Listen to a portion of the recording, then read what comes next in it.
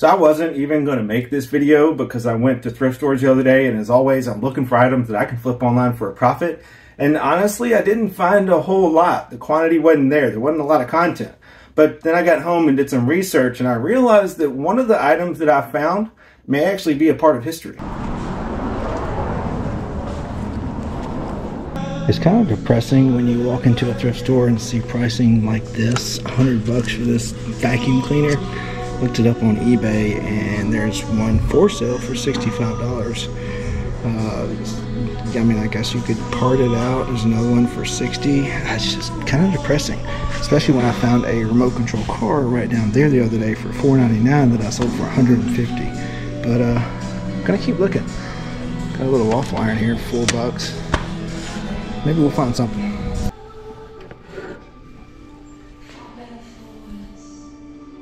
So I've been through everything, been through the clothes, the hard goods. I did find this thing. It's not a telescope. I'll tell you about it in a minute. I'm gonna go check out the shoes and then I'll uh, go over this thing when I get to the car. All right, so I took a chance on this thing, and uh, it's not like my death pile is overflowing because I haven't bought anything in quite some time. But it's a spotting scope. It's made for like target practice or deer hunting when you're uh, shooting something from a long way away. It's made by this company called C. Adler or Seedler. I'm not real sure, but I looked up that name and scope on eBay, and there was like five listed, and two or three had sold. The ones that sold sold for well over a hundred bucks, and there's no spotting scopes, or those were just regular rifle scopes. So I really don't know, but for four bucks, I figured I'd take a chance. It's on this cool vintage Bushnell tripod. Uh, that actually may be usable for me. I don't know, but four bucks, took a chance, and now I'm at the uh, Salvation Army. So this guy just put out this racket clothes. What are the chances there's something good on that? It's interesting. Look through, uh, look through the whole rack, and most of it's kind of bread and butter stuff like Arnold Palmer polo shirts. But this would have been really good. Filson, CC Filson, but unfortunately, it is stained pretty bad. So I'm gonna have to leave it behind. Y'all, you gotta check this out. This is nuts. All right, this could be Yale, could be anything, honestly. But it's in decent condition, and it's got to be from like the 50s. Check out that tag. Stadium 100% wool shaker sweater company. That's got to be good. And I think it's to be like $3.99. That's got to be good. Here's some more really old stuff. Check this out. Duron by Barden. I looked it up and uh, looks like it is from the 50s or 60s. Doesn't really sell well though. And then this vintage Kmart permanent press. I've never had good luck with those either, but definitely old. The guy just put out another new rack. Let's check it out. So that may have paid off. Check this out. Vintage liquid blue. Cat suck cycle repair. Check out the back. How cool is that? And then got the 1994 Dale Earnhardt. I think t-shirts here are going to be 2.99. That's a double X made in USA. That's awesome. Alright, so this is nuts. I absolutely love this shirt. No tag, but check that out. The Wolf. Habitat 92. Yeah, that's awesome. Double sided. Alright, so today was Vantage Day at the Salvation Army. Got the Cat Suck Cycle Repair shirt on the liquid blue tag, made in the USA. I don't think any of these t-shirts are like grails or anything, but uh, I can't pass them up for three bucks. I mean, look at that logo, or excuse me, graphic on the back. That is crazy. Love that. And then the wolf print, double-sided, Habitat 92. Missing a tag, but otherwise in good condition. Got the wolf, the same graphic on both sides. Bright, bright colors. How cool is that? I mean, it looks like it's straight out of Arizona. Then we got the Dale Earnhardt. That's on the Nutmeg Double XL, made in the USA. Should be from, I'm guessing, 94, 95. Sports Image. Pretty cool. Nothing on the back. And then this thing, I definitely bought myself some research. Got to do some research on this thing. My first inclination is that it's Yale and it's from like 50s based on that tag. I have no idea what it's going to sell for, if it'll even sell at all, but can you pass that up? I paid $15 for all four of these items. Not too bad. I'll do some research on this and I'll let you know what I find out at the end of the video.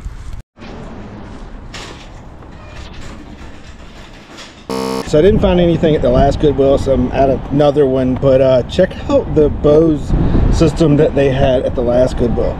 Yeah, $600 that might be the highest priced single item that i've ever seen at a goodwill hopefully there's uh, nothing like that here. Yeah 600 bucks for that bose system at that goodwill kind of crazy. But that also kind of represents how the rest of my day went because i went to like three or four more different thrift stores and didn't find a single thing. But i do want to go over with you what i did find First up is this C. Adler spotting scope, and I couldn't find this thing anywhere. I did a bunch of Googling, couldn't find it anywhere except for where it was mentioned in a hunting forum one time, a long time ago. So I have no idea the value. I listed it for like $115. There are a few watchers on it, but it may take forever to sell if it ever does.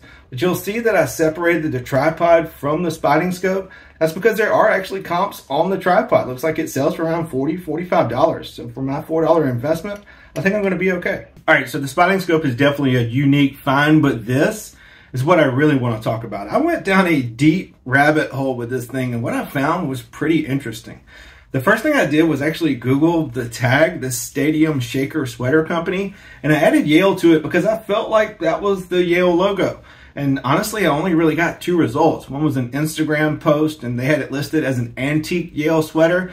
And one was a WorthPoint auction where they had it listed as a 1940s Yale sweater.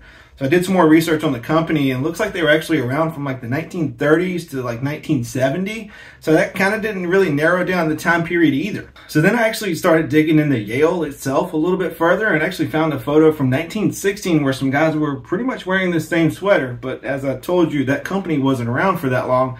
So I honestly think this is a sweater from the 1940s to the 1950s. The reason I say that, they actually changed their logo sometime around 1960 from the big Y to the spell out. So I honestly think this sweater is from around 1940s, 1950s, somewhere in that era, and it's in remarkably good condition. I only found one hole in it, and it's right here on the sleeve, and it's actually 100% wool, which is like a moth buffet. So for it only to have one hole, I'm pretty happy about that. That's not all because I did even more research because I thought maybe somebody famous actually wore this sweater and I tried to figure out who was around during the 40s and 50s that I had heard of that it could have actually worn it, and well, here's what I found out. First up, former President Gerald Ford actually graduated in 1941.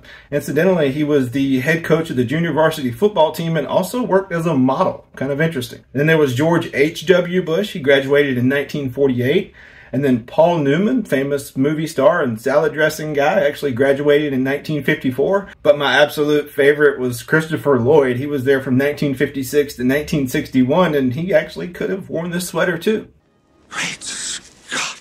All right, I'll admit, none of these people probably actually wore this sweater, but it's still pretty cool to think about. But I kept going. I kept doing more research because I wanted to figure out the value of this thing. What is it worth? What can I list it for on eBay? And you guys saw there weren't very many results. So I actually reached out to Reunion Vintage. That's the Instagram post that I'd found earlier and asked them what they sold theirs for. They said from what they could remember from about a year ago, they sold it for around 200 bucks. So that's what I currently have it listed for on eBay. And there's a ton of watchers. So we'll see what happens. Hopefully my 5.99 will turn into 200 bucks. But either way, I think it's pretty cool. I found a piece of history. And now it's your turn if you don't mind. Drop a comment down below and let me know what your best thrift find ever was. Maybe it was a piece of history. Maybe it was super rare or something really valuable. Leave me a comment down below and let me know. I'm genuinely interested. But I hope you guys enjoyed this video. Don't forget to like and subscribe. We'll see you next time.